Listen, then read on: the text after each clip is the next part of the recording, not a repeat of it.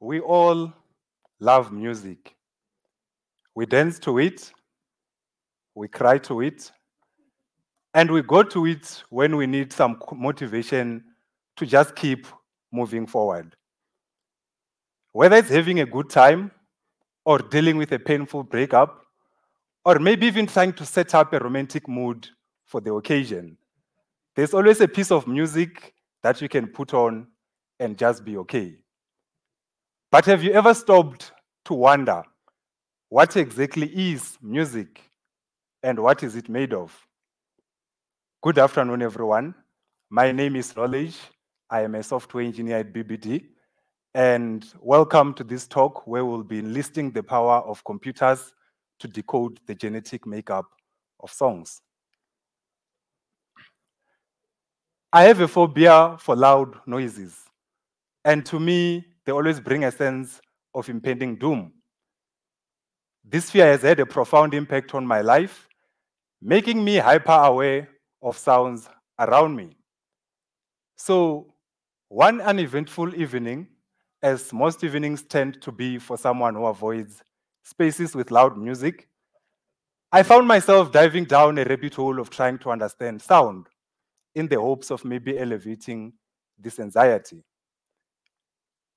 But being someone who likes to make use of computers to test, verify, and enhance my understanding of the physical world, this curiosity quickly led down to the question of how do computers understand sound? And as I crawled down the rabbit hole, I came across a paper written by the founder and chief scientist of the popular music recognition app, Shazam, which explained how their music recognition algorithm works. This was quite a fascinating find for me because I've always found Shazam to be an amazing application of technology, and the app's ability to recognize and identify songs is most impressive. So I felt that understanding how the algorithm works would be a step in the right direction towards the answer to the question of how do computers understand sound? Now, from the paper, there are two things that I found most intriguing. The first was that Shazam was actually started way back in the year 2000. So I figured with the countless number of tools, computing power, and information resources at my disposal today, implementing this algorithm shouldn't be that complex of a task for me. Well, that assumption didn't age very well because implementing the algorithm wasn't exactly the smooth sailing that I thought it was going to be. And I did pull my hair out several times during the experience. So, to those people who maybe last saw me before I went down this path, this is the talk that explains how I went about losing my dreadlocks.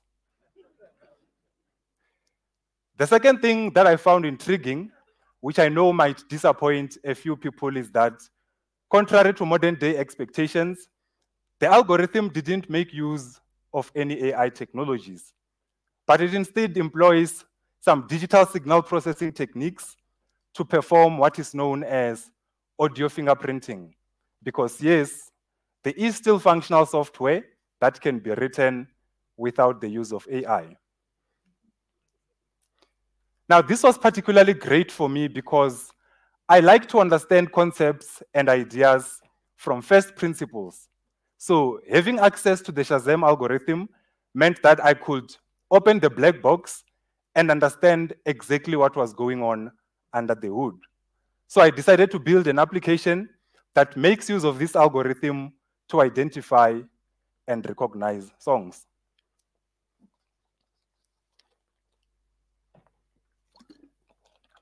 I think that the most famous saying that has to do with curiosity is that curiosity killed the cat.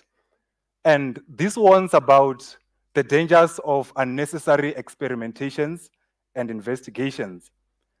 But my goal through this talk is to try and get you to embrace that curiosity by convincing you that while the curiosity might have killed the cat, the satisfaction from the outcome of that experience brought it back to life. Human fingerprints have been used as a method of identification for a very long time, more greatly so in the current age where we use them to unlock our phones, to enter places of residence, and even as forensic evidence. But the key thing to note, though, is that fingerprinting is just an extremely successful method of data reduction, where we summarize some large input data by mapping it to a much smaller data item that contains the essential information and properties of the original data. So instead of storing every possible bit of information about people, for example, we are able to map each individual to a tiny sample of data that can still uniquely identify and recognize them with a high degree of confidence, even in the presence of noise and other interferences. This same idea is the inspiration behind all audio fingerprinting techniques, where a large audio file, usually a couple of megabytes in size, is reduced to a couple of kilobytes of data that can still be used to, to uniquely identify and recognize the original data it came from at a later point in time. So at a high level, the audio fingerprinting algorithm's basic principle of operation is quite simple. A known audio sample is fingerprinted, meaning that some uniquely identifying attributes are, are, extracted from it. These attributes are then packaged into a data structure with a link to the details such as the artist name, uh, the name of the song, and maybe the year in which the song was released. And then all of this is saved to a database. An unknown sample of audio then gets sampled, it gets fingerprinted at a later time, meaning that we extract the uniquely identifying attributes of this unknown audio sample as well. And then those fingerprints from the unknown audio sample are then matched against the large set of fingerprints previously stored in the database. And at a high level, that is how you would perform audio fingerprinting. But then this means that to perform audio fingerprinting, we first need to know what exactly these uniquely identifying attributes of music data are. And to do that, we start from the understanding of the nature of sound and how that gets into a computer system for processing.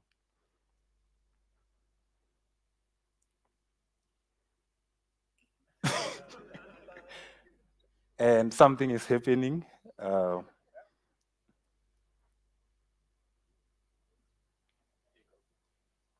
are we good?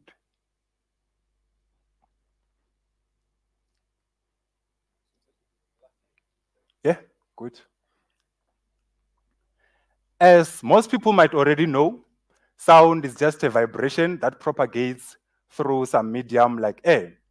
And when this vibration gets to a computer system's microphone, it is converted to an analog electrical signal that's proportional to the strength of the vibration. So a loud sound means a strong vibration, which would mean a strong electrical signal.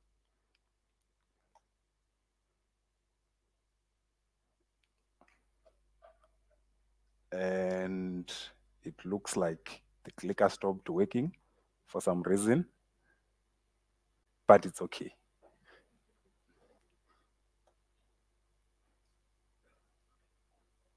Uh, Mr.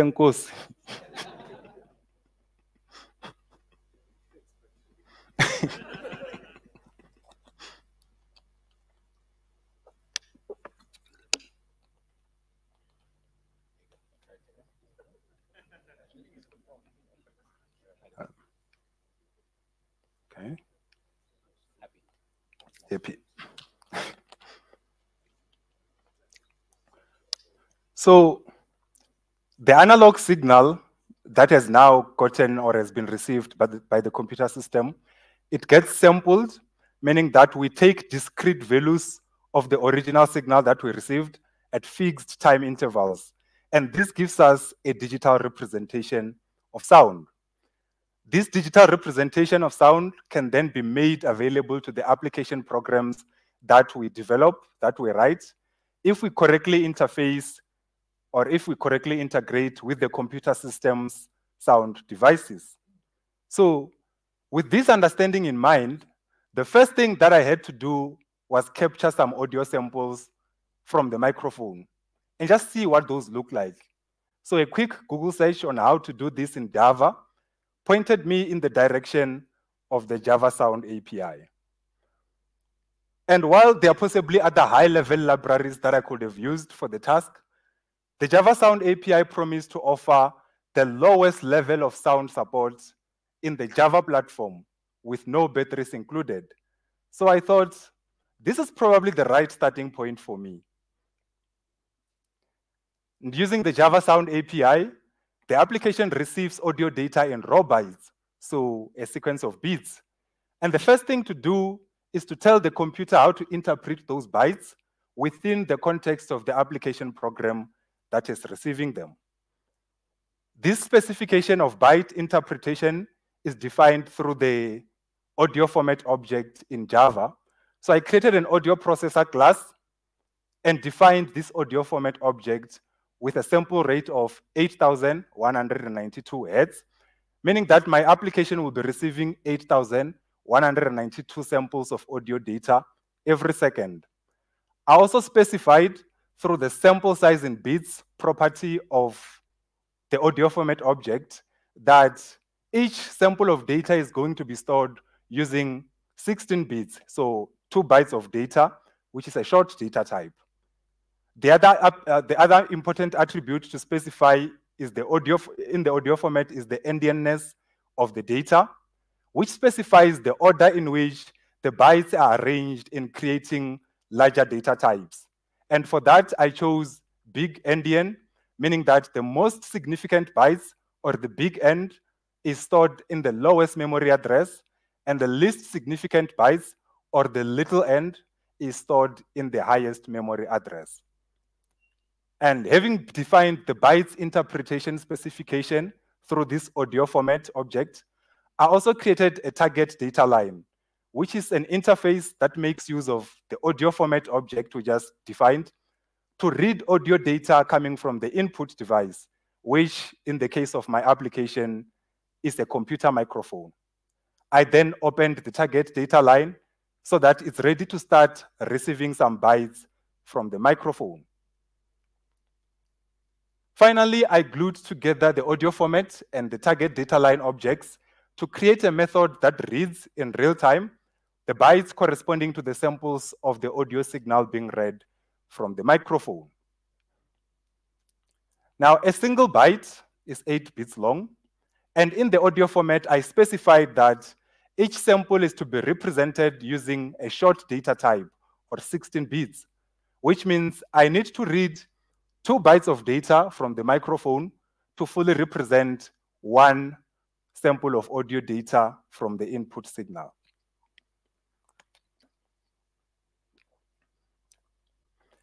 In converting two bytes to a single short data type representing an audio sample, we also need to specify the byte order that is to be used in the conversion.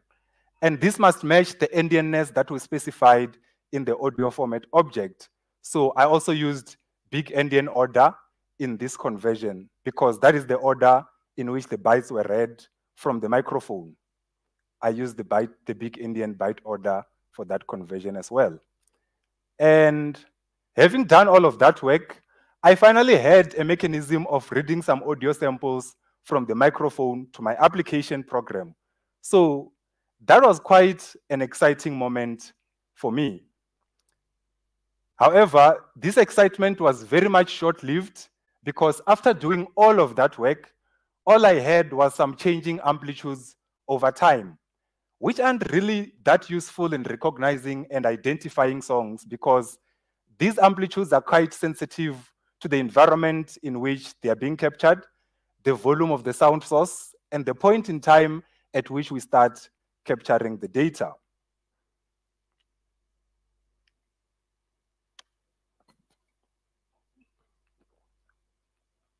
And I think I moved too ahead there.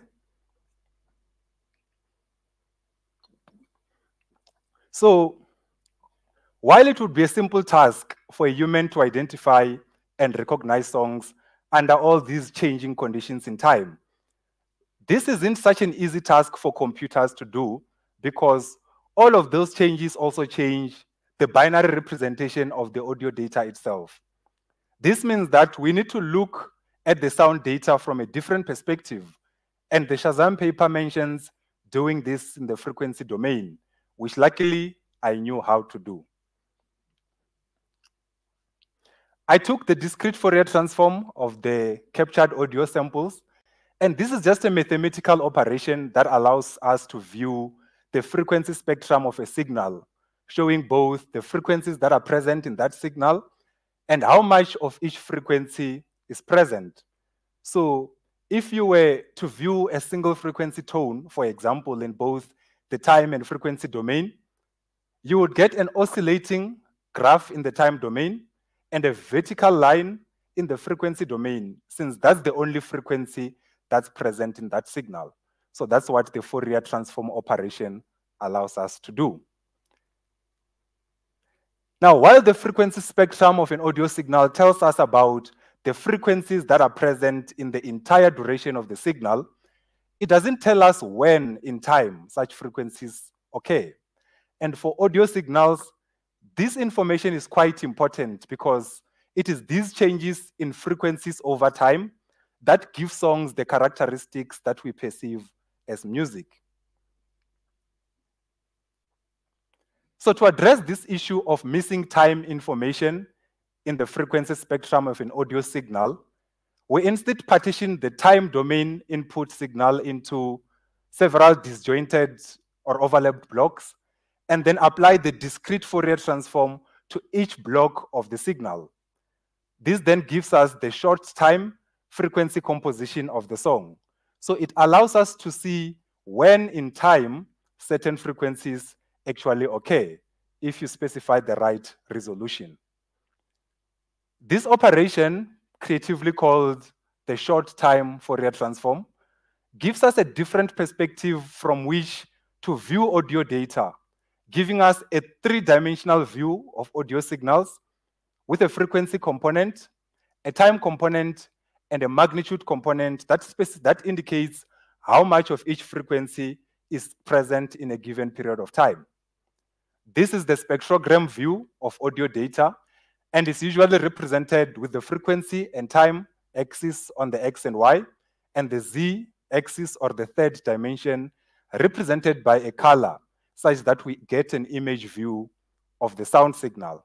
And we can have each color be associated with how much energy is present for that frequency at that time.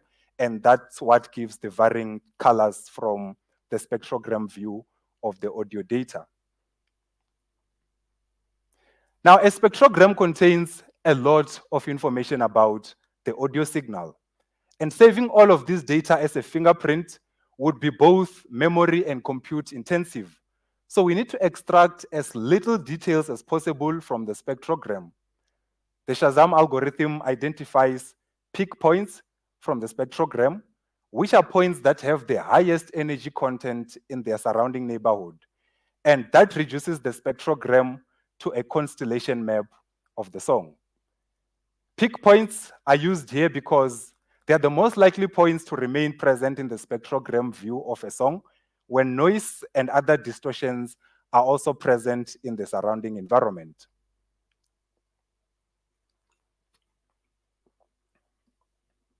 From the constellation map, we then perform something known as combinatorial hash generation. And while this might sound like some fancy and complex idea, all we are doing is picking a single peak at a time, which we call an anchor point. And then we pair that with a certain number of other peaks that occur in what is known as the target zone of that anchor point. This is then repeated for every peak in the constellation map, where it gets selected as an anchor point and then paired with subsequent points in its target zone.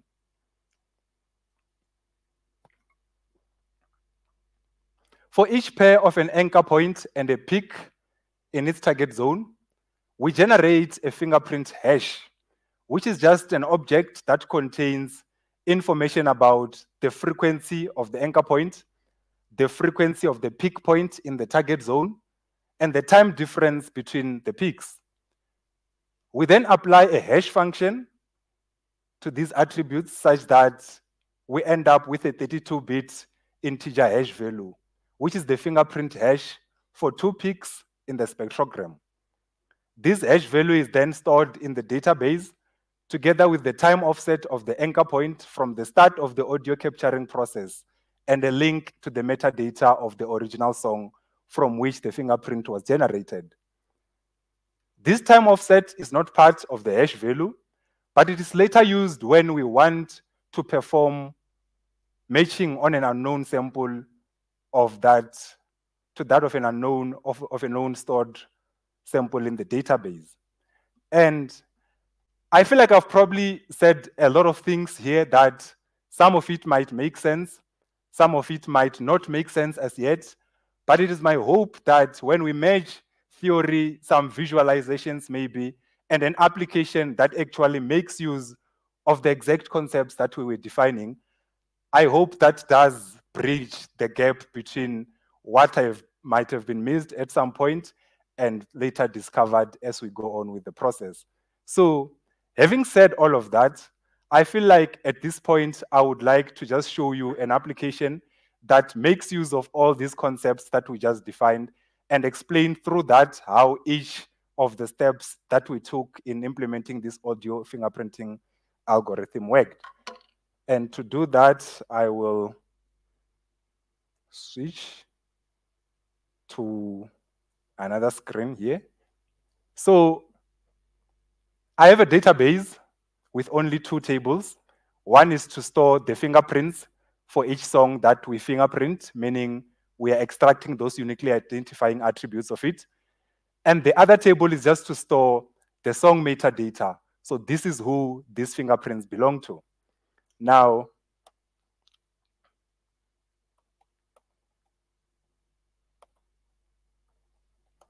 So those are the two tables that we have, the fingerprint hash table and the song metadata table. And in the song metadata table, I have a couple of songs that I've already fingerprinted. And I just want to put it out there that these songs have absolutely nothing to do with anything that is happening in my life. So such information should not be inferred from them. Um, so if we check, for example, what exactly is in the song metadata table, it looks like we have a couple of J. Cole songs, some Ed Sheeran song, some Lil Wayne song, and these were not chosen from anywhere in any particular order for any particular reason. And I just feel like I should emphasize that. So that's what we have. We have a couple of songs that have already been fingerprinted. And I did this beforehand because fingerprinting a whole song means doing it for the duration of the actual song, which takes a long time. Now, if maybe we were just to see what some contents of the fingerprint hash table looks like, we could do uh, fingerprint hash, and let's just say five of that. And that's what uh, the fingerprint hash table data looks like. And what we see there is we have the anchor time offset, which is the time at which the offset peak that we used in the fingerprint occurred during the spectrogram view of the audio data that we have. And then the integer value that we have is the hash that was generated by combining the frequencies of, the bo of both the anchor point and the point that existed in the target zone of that peak. And then we just also have like a link to the metadata for which that hash information is linked to. So for example, all of the data that we are currently seeing is linked to some song by someone called J. Cole. And the name of the song seems to be 3001. So that is what we have as our database. Now, the next thing that we now have to do is we have a database. Let's connect it to an application. And that's what we are going to do here.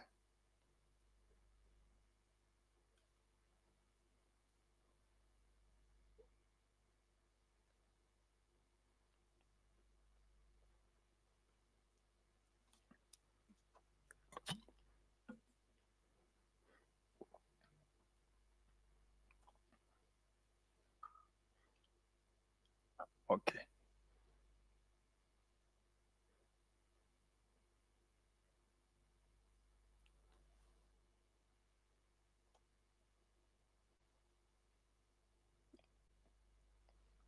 This guy. Takes a bit of time to start up only today for whatever reason.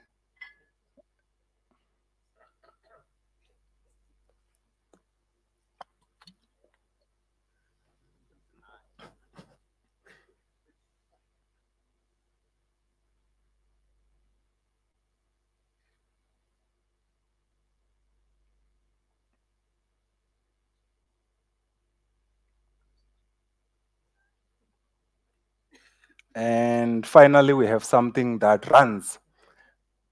And knowing that there's a lot of people with a lot of different skills in this room, the other thing that I just want to say is um, my UI UX development skills are not on point, but it's functional, I hope. Um, and I think that should make the difference. So I just built a little thing that looks like this. It's all in Java. And I think this is the best type of UI that you can get if you are building the entire thing using Java Swing. Um, so what I have here with this application is I can tell it to match, which means listen to whatever that is playing in the surrounding environment. And that's the first thing that I needed to do because to verify that I am indeed capturing audio samples and to verify that these are indeed coming from my microphone, I needed to visually see that to actually believe it to be true. So I implemented a component, which is just the panel at the top, to show these changing amplitudes over time, which is typically what you would see in audio visualizers uh, if you were to check what, what that looks like. And then the next thing that I built is the component or the panel at the bottom, which is the spectrogram view of the same audio song. So we see those changing amplitudes in time, and then we see what those changing frequencies over time for that very song, song looks like. So if I was to go match and start speaking, it you can actually see that as I say something, there is that picking of the audio samples that are being read from the microphone. And at the bottom, we start to generate the spectrogram view of the same song uh, corresponding to the changing in frequencies over time that we are seeing for that song. So getting these amplitudes changing over time was great. And the next thing that I needed to do was verify that my spectrogram view uh, was also correct. So to do that, the first thing that I did, the simplest test that I could do, was I am going to play a single frequency tone or a pure tone, right? Which is just like some sinusoid, a sine graph or something. Um, and the expectation from that, I already know what I expected to see in the spectrogram view because we only have one frequency in that tone. And the spectrogram uses the intensity of a particular frequency in what is being played to show that this is the most dominant frequency that we have. So if I play a single pure or, or a single frequency tone and then run that through the spectrogram, I should see just a horizontal line showing that at this frequency, this is where most of the energy for the signal is concentrated.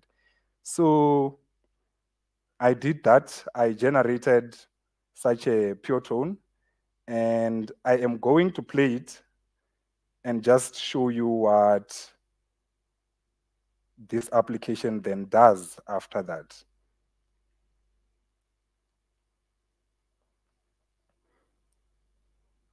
Hopefully it's not gonna be as noisy.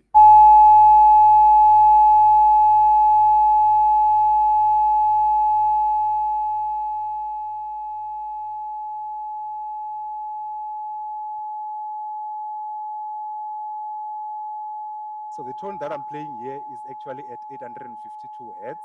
So that's where we expect the horizontal line to sort of like be brighter than the surrounding areas because that is the frequency at which our tone is playing.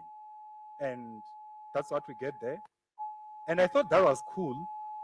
But then in my many nights of exploring and diving down different rabbit holes that have to do with sound, I came across some information that specified that there are certain people who actually do hide some sort of images in songs, if we can call them that, because uh, having went down to actually listen to them, I think it came across to me more as noise.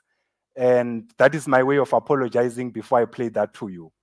Um, so I, I, I, went to the internet and I searched for such songs and I wanted to see those images to see exactly what was hidden in them. And that was going to be a confirmation enough that my spectrogram implementation is correct because the spectrogram is that key or that central to the implementation of the fingerprinting algorithm itself. So to that, um, I went into the internet and I found some song, if it's a song. Uh, it's called Look, and in parentheses, they say songs about my cats. And what I was expecting to see there is some cats as I view the same audio signal through the spectrogram view. And I'm going to play that song uh, and see what we get.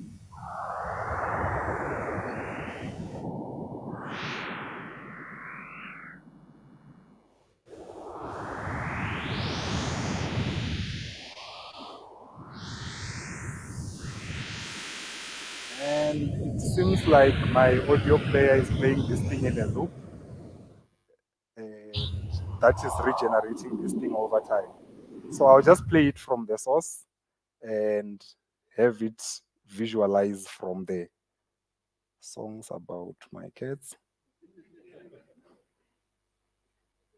There we go.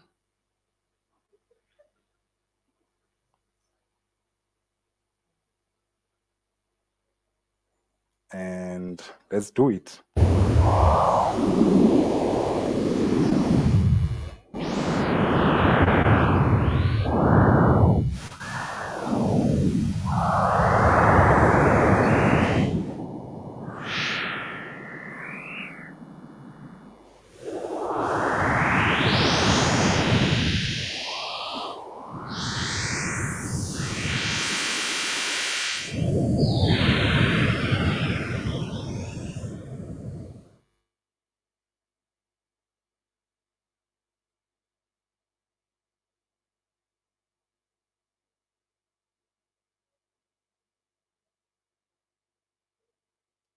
And I do hope that you get to see this one at least, but it doesn't seem to be the case over there. Uh, but just take my word for it. uh, because that is what I used to actually verify that my spectrogram implementation was indeed correct. Uh, it's unfortunate I couldn't get this resolution right. It seems to get it to properly display over there, but it's what I could see here. If maybe after the talk, somebody can come and be like, show it to me, that's what I will do. Uh, but for now, I think you can just take my word for it. So now, having done that, I was now confident in my app's ability to recognize songs. And to do that, I was like, let me go to one of these places that play loud music and just see what they're playing. And maybe my laptop will be able to pick up whatever that they are playing. So this is something that I found them playing, nothing to do with anything that's happening in my life. It's just song a song they were playing, and I didn't know the song, so I was like, let's know what the song is. So we do that, and we are going to see start matching after we play the song. I was younger then. Take me back to when we found weekend jobs and when we got paid. We'd buy cheap spirits and drink them straight. Me and my friends have not thrown up in so long. Oh, how we've grown.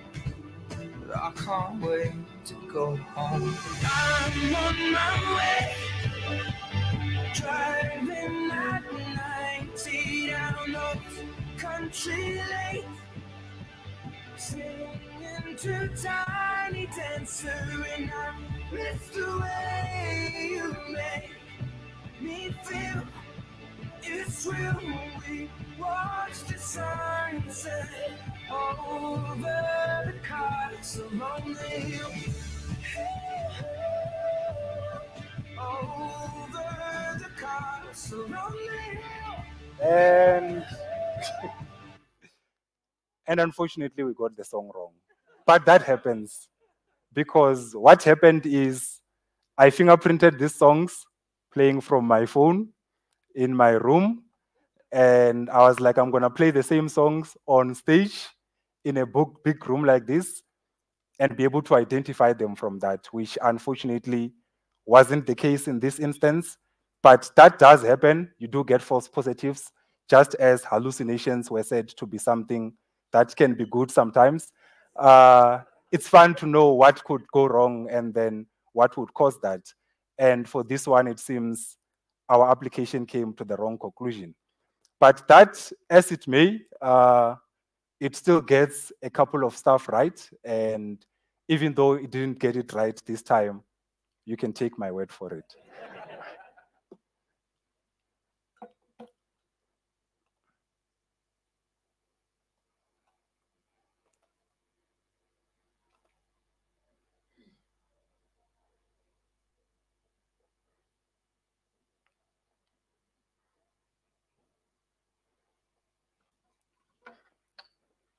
So, as I now reflect on this journey, from the moment I first wondered about how sound works, to the countless hours spent deciphering the mysteries of audio fingerprinting, I realized that it was curiosity that led me down this winding path.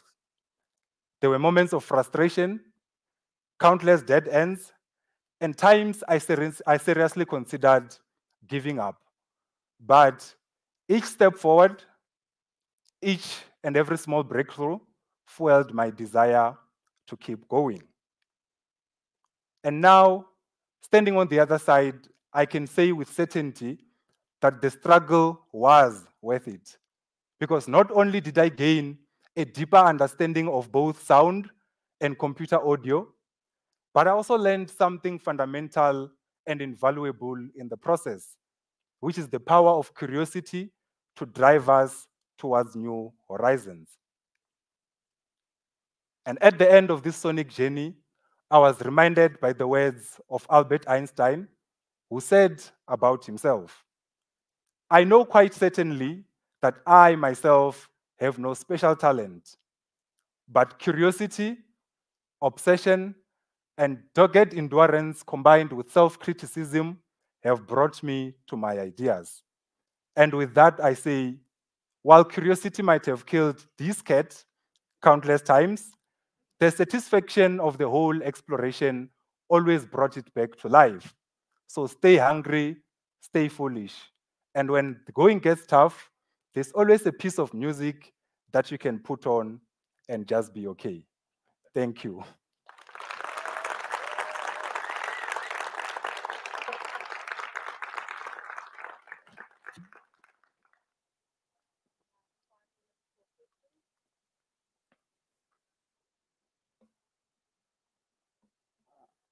Any questions? Um, so uh, since you, you can like uh, hide music, uh, sorry, hide images in the in the in the sounds. Can you also hide uh, something like a bug, probably like a series of uh, bytes bytes that would like break the whole program or I don't know about them breaking the whole program because you're not really executing the bytes that make up the image itself, but you can change them to be whatever you feel like and see what that looks like. Yeah. Fantastic talk, thank you. Um, I have two questions. One of them is how many how many fingerprints you need to pre-record per minute to have an accurate um, uh, recognition, and the second, how Shazam make it works that we can capture sound from any time code in the sound and get an accurate. They- don't expect us to start at a specific Yes. moment. It, it can start and end at any point in the. So how many fingerprints per song? and all the time things works. Okay. So the first one to how many fingerprints, I so I didn't go down to exactly this is the number of fingerprints that you need to take. Uh, so what I did as I played around multiple times over and over again with it, I fingerprinted multiple songs and then I was checking when I get an accurate sort of like reading for it, what was uh, the time needed, sort of like the time limit that I saw pushed to many songs in terms of how long I would need to listen to to actually get an accurate reading for it.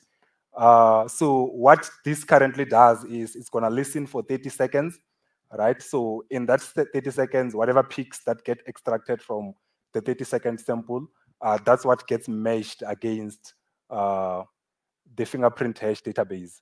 So I didn't do it in terms of the number of samples but, or, or, or fingerprints, but just in time, right? And then the next question of how they they actually get it right uh, to start the song at any point and then still find a match to that is if you take, for example, the constellation map view that I explained before, where we have all these peaks, right? So we've sort of like downsized the the image data that we have to whatever peaks that uh, that are in that space, and then we sort of like generate those hashes out of them. Now, if you were, for example, to because you generated them for the whole song, and if you were to play another sample of audio data at a later time, starting at whatever point that you started, right? You can think of it as sliding the spectrogram or the constellation map of the new song over the entire database and then at some time offset, right, which is what the time offset that I said isn't part of the hash value is actually used for. At some time offset, those things actually start to align and then you get more alignment on it. So what the algorithm does is if it finds hashes in the database that are sort of like corresponding to this song, it doesn't automatically say this is the song because other songs as well might have the same fingerprints, but not in the same sort of like order that they were read in initially, right? So what it does is it selects all of those as candidate sort of like potential songs, which is why what happened here is that even within the potential songs that it came with, uh, it still chose the wrong one out of the ones that it found. So what it does is um, out of all those potential candidates now, when you do that sliding around like of the spectrogram itself to find like those corresponding at some time offset points, right? You sort of like generate a, histogram that shows like for this song, this is like the peak height that I got for it. This is this is the